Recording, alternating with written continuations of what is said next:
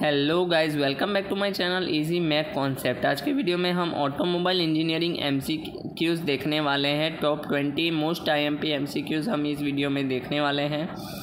और अगर आप मेरे चैनल पे पहली बार विज़िट कर रहे हैं तो प्लीज़ सब्सक्राइब कर दीजिए और नोटिफिकेशन बेल आइकन प्रेस कर दीजिए, ताकि आपको ऐसे ही ट्यूटोरियल्स और नोटिफिकेशन जल्द से जल्द मिलते रहे वीडियोज़ के। Okay? So, the first question is, the following represents the correct specification of a tire. So, that is one fifty five, one five five dash eight zero dash R thirteen.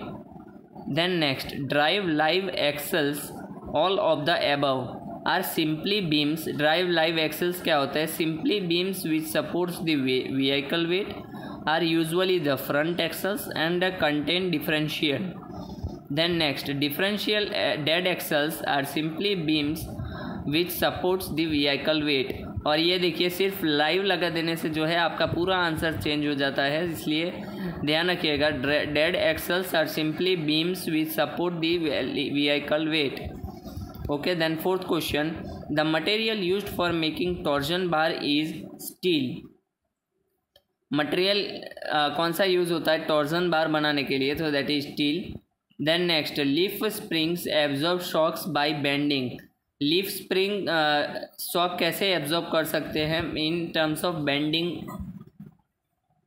then next coil spring absorb shocks by compression okay तो coil spring shock कैसे absorb कर सकते हैं? By the help by the compression then next the following is a type of leaf spring. तो ये तीनों ही जो है वो लीफ स्प्रिंग के टाइप है।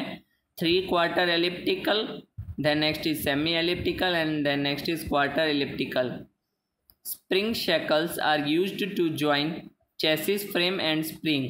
Spring shackles किस लिए शकल्स किस लिए यूज़ होते हैं? तो चेसिस फ्रेम और स्प्रिंग को ज्वाइन करने के लिए। The next shackles shackles are sort of link shackles किसके टाइप का होता है? कैसे टाइप का होता है? सो लिंक जैसा होता है वो। Then next, the front axle of a car has a pivot centers 1.3 meter apart.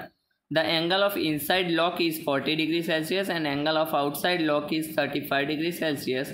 What is the wheel base of car? So, यहाँ पे देखिए आप मैंने कैलकुलेशन करके आपको दिखाया है नीचे कि आंसर 5.5 मीटर कैसे आता है तो फॉर करेक्ट स्टेयरिंग के लिए क्या होता है आपको पता ही होगा cot alpha minus cot theta is equals to C by B जहाँ पे सी क्या होता है पाइवोट सेंटर होता है और बी होता है व्हील बेस जो हमें फाइंड करना है वो angle of outside lock theta is angle of inside lock so cot alpha minus cot theta is equals to C by B तो cot thirty five minus cot forty is equals to one point three upon B तो finally यहाँ से आप substitute करेंगे values तो B is equals to five point four nine metre आपका answer आएगा that is five point five metre then next in the front of the front wheel is inside and rear of the front wheel are apart when the vehicle is at rest then the configuration is called इस configuration को क्या कहा जाता है toe in then next the furniture rulers are provided with a negative caster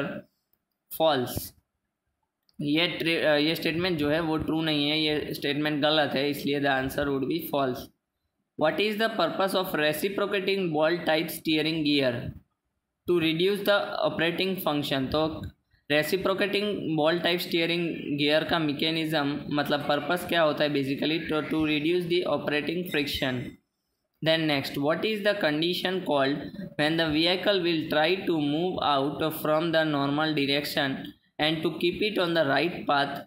There is need, a steer a bit little. तो under steer इस function को कहा जाता है under steer then next what is called the cornering force over the slip angle so cornering power so cornering force over the slip angle को क्या कहा जाता है? कॉर्नरिंग पावर कहा जाता है। Then next what is the name of the angle through which the wheel has to turn to sustain the slide force तो that is slip angle the metering value is use to proportion the braking effect between the front and the rear axle so ये statement क्या है? False है।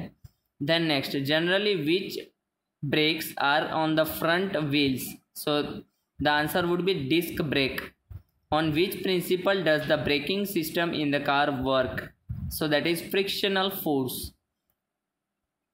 तो braking system car में कौन सा braking system का प्रिंसिपल यूज होता है so that is frictional force then the next is the elect the electronic control unit is use to detect the speed of wheels So this statement is true okay so यहाँ पे आपके, हमारे twenty M C Qs जो है, वो ख़त्म होते हैं ऑटोमोबाइल इंजीनियरिंग के most I M P twenty M C Qs for the upcoming G T examination और अगर आपको इस तरीके के एम सी क्यूज़ चाहिए ऑटोमोबाइल इंजीनियरिंग के I M P M C Qs तो आप नीचे दिए गए लिंक पे जाइए और वहाँ पे आपको hundred plus M C Qs जो है मिलेंगे for the automobile engineering subjects which is most important for the upcoming G T U exam okay?